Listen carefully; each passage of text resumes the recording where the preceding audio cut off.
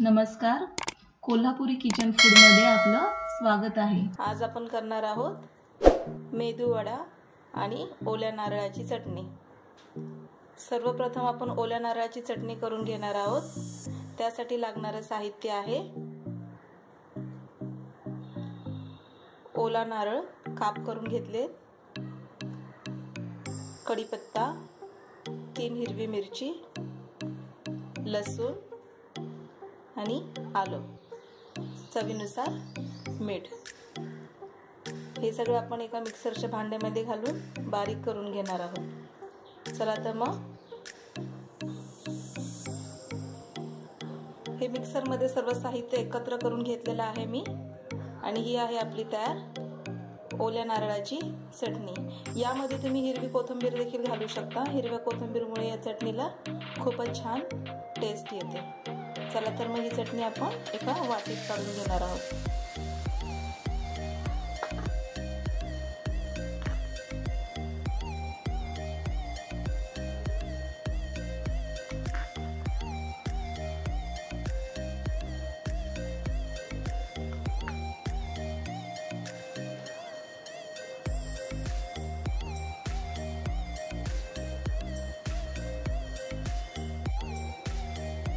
आता आपण मेदूवड्याची तयारी करून घेणार आहोत. सकाळी दोन बाऊल डाळ भिजत घातली होती. उडदाची डाळ आहे ही. दोन बाऊल डाळ सकाळी भिजत घालायची. ही डाळ चार ते पाच भिजली पाहिजे. आणि भिजल्यानंतर मग ही डाळ ही अशी झाली. मस्त फुलली आहे. यासाठी हे वाटून घेतल्यानंतर यामध्ये आपल्याला ॲड करायचं आहे थोडासा कांदा कढीपत्ता चवीनुसार मीठ. तुम्हाला जर हवं असेल तर तुम्ही त्यामध्ये हिरवी मिरची देखील चिरून घालू शकता. पण मला हिरवी मिरची नाही घालायची आहे. माझ्या घरामध्ये लहान मुलं असल्यामुळे मी ती टाळती आहे चला तर मग आपण हे सर्व एकत्र मिक्सरच्या भांड्यामध्ये ही डाळ पहिली बारीक करून घेणार आहोत. पाणी न घालताच आपल्याला ही डाळ बारीक करून घ्यायची आहे. एकदम बारीक रव्याहून देखील बारीक करायची आहे. चला मग आपण तयारीला घेऊया. आता नारळाची चटणी मी एका दुसऱ्या बाउलमध्ये काढून घेतलेली आहे. आणि आपण त्याच मिक्सरच्या भांड्यामध्ये ही जी भिजलेली उडदाची डाळ आहे ती आपण बारीक करून घेणार आहोत. चला तर मग ते भांडे घेऊया. हे आहे आपलं मिक्सरचं भांडं. आणि त्यामध्ये आपण चला तर घालून घेऊया.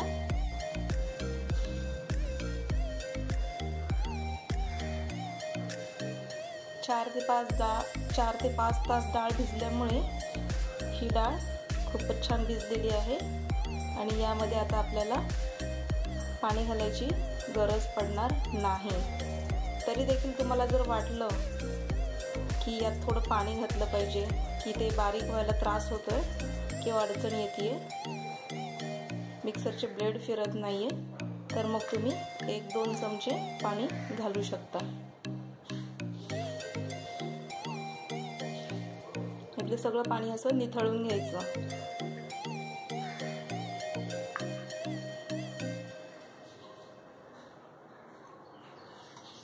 आता ही जी डाळ आहे आपण ही बारीक करून घेणार आहोत. आता ही आपण डाळ पूर्णपणे बारीक करून घेतलेली आहे आणि यामध्ये आता आपण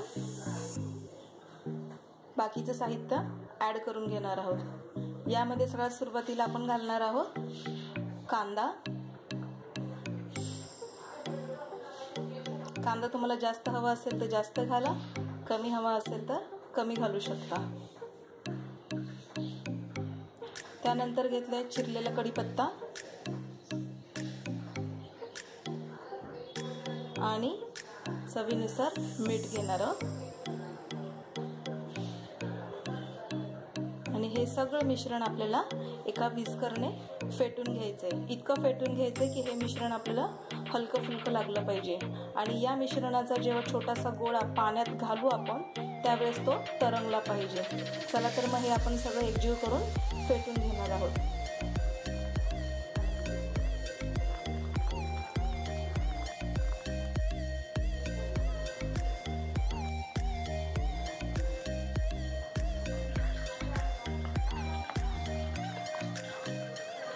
आता हे मिश्रण मी खूपच फेटून घेतलेलं आहे. आता हे मी जरा एका वाटीमध्ये टाकून बघते पाण्यामध्ये घालून बघते. हे जर तरंगलं तर आपलं मिश्रण तयार आहे.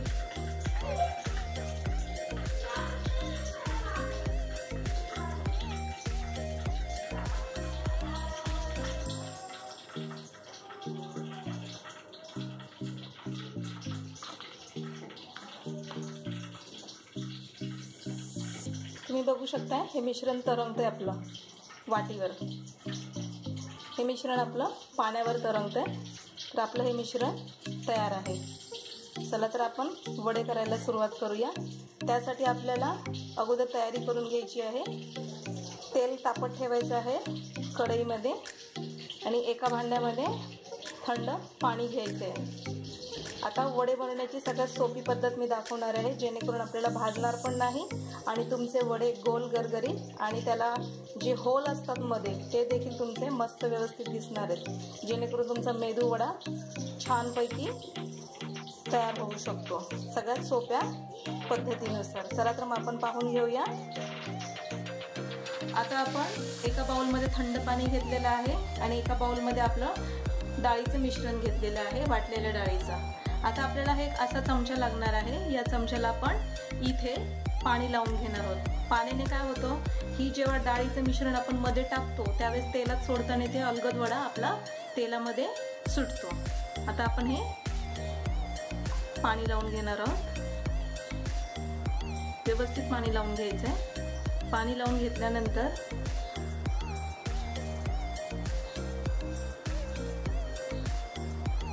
असं हे मिश्रण टाकायचं आपल्याला.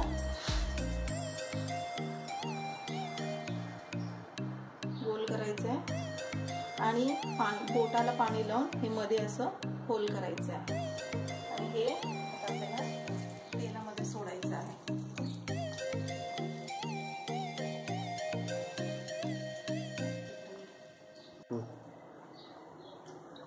आपण परत दुसरा वडा करून घेणार आहोत. आता हे डाळीचा वडा जो आपण तेलामध्ये सोडला त्यामुळे या चमच्याला हे थोडंसं पीठ लागलेलं आहे. ते आपण परत स्वच्छ करून घ्यायचं आहे. ते जर स्वच्छ नाही केलं तर आपले वडे परत चमच्याला चिकटतात.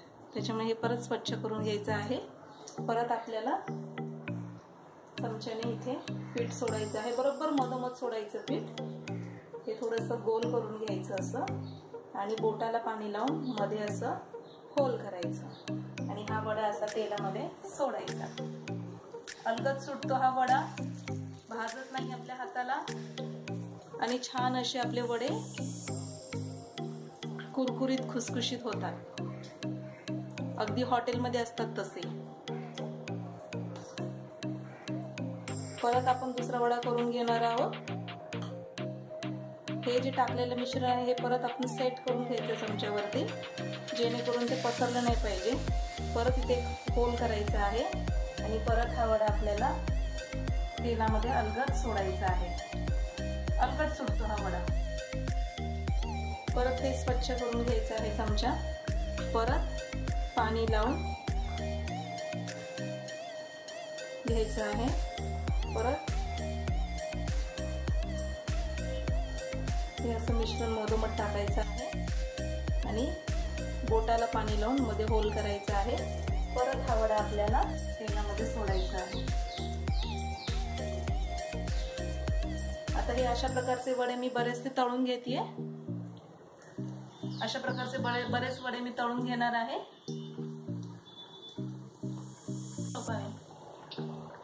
आता हे जे आपण वडे घातले होते तेलामध्ये ते अलगद असे वर येतात तळून. तर आपल्याला ते पूर्णपणे खालून व्यवस्थित तळून वर आल्यानंतरच आपल्याला ते हलवायचे अधेमध्ये ते वडे हलवायचे नाहीयेत. हे बघू शकता तुम्ही तसे छान असे गोल असे वडे पडलेले आहेत. आता त्याची आपण एक साइड आपण पलटून घेणार आहोत. आणि हे जे वडे आहेत आपल्याला छानशा सोनेरी रंगावर तळून घ्यायचे